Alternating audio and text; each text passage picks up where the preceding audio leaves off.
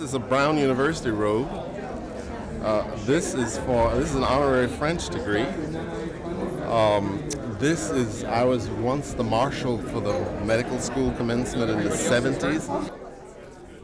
It's not a masquerade ball, it's not a black mass, and it's not Halloween. But sometimes commencement season can seem a little bit like them all. These are the colors of the University of London, and the bordering indicates uh, the degree, which is in history, English history actually. It's the head of uh, universities in, in Spain, of all the doctorates of universities in Spain. It's amusing and a little embarrassing, but anyway, it, it does look like a lampshade, doesn't it? Each year, in late spring, students and faculty around the world prepare to take part in a tradition more than 800 years old, donning traditional caps and gowns, ritual items born at Europe's earliest universities. But what's the meaning behind the getup? The variety, the peculiar symbols? Is there a message in all these fabrics and colors? I don't know why the hat's this shape, but it's it's the hat, and so it's, all right, no problem. what I wear. According to UCLA's Brian Copenhaver, an expert on the subject of academic regalia, there is, and the best place to start looking is the graduation hood. The academic hood tells the person who looks at it which degree you have. For the undergraduate degree, there's no hood at all. And then there's sort of a small hood for the master's degree, and for the PhD, there's a big, very, very colorful hood. That hood has colors on it in two different places. On one side of the hood, there's a patch uh, on both sides of velvet, and then on the other side, there's some large patches of silk. The silk patches are the colors of the, of the institution, the university that gave the degree. So in the case of UCLA, those would be blue and gold. The other patch, the, the velvet part, tells you what kind of degree it is. So in the case of many people who are faculty at UCLA, that degree is called Doctor of Philosophy, and that velvet patch is dark blue.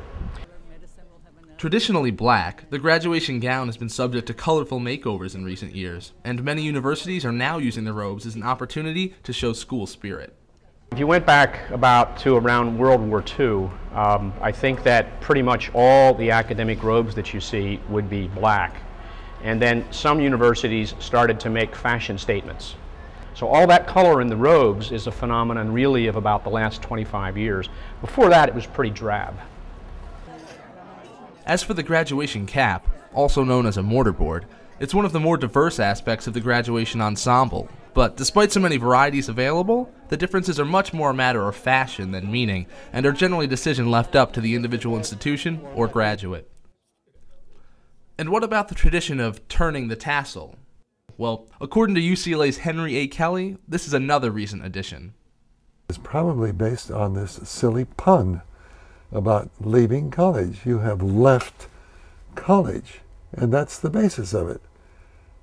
Uh, and it probably uh, goes goes back no further than that. You know, it's probably no no more than 40, 50 years. It might not be eight centuries old, but Kelly at least is in support of this new tassel turning tradition. I think it's hilarious, and uh, it should be continued. I think it's a wonderful new tradition. And uh, I'm left handed myself, and I've always really resented uh, people who uh, resent the left hand. I've always been proud of being a left hand, a left hander. I actually think that I am superior to right handed people by the very fact that I'm left handed and anything that will come along and praise and privilege the left, I'm in favor of. okay, let's review. Undergrads wear your basic cap and gown. Depending on your university, this outfit could come in a variety of colors, but most likely it will be the standard black. For a master's degree, it's not going to be much different, except for the possible addition of a small colored hood worn on the back of the gown. And the PhD, well, you're looking at that nice hood all the faculty seem to rock at graduation. The silk portion will sport the institution's colors, and the velvet represents the degree being received blue for philosophy, green for medicine, and purple for law. And what about all that extra stuff, like ropes, gold chains, and lampshades? Well, you might have to be given an honorary degree, be a chancellor, or just go to a university with a unique taste and style. So there's the quick primer. but don't be surprised if you spot something you've never seen before, because when it comes to these outfits, this is one tradition that is definitely evolving.